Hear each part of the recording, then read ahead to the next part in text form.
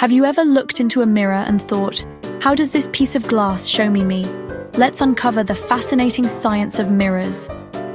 A mirror works by reflecting light. When light hits most surfaces, it scatters in all directions.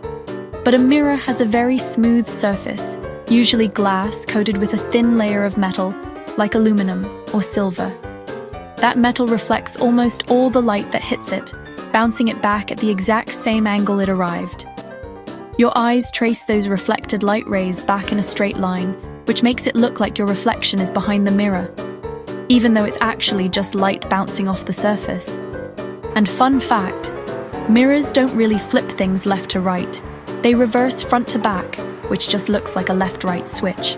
So every time you see yourself in the mirror, you're watching light obey the laws of physics in real time. If you love learning how simple things hide cool science, follow for more and don't forget to like and share this video.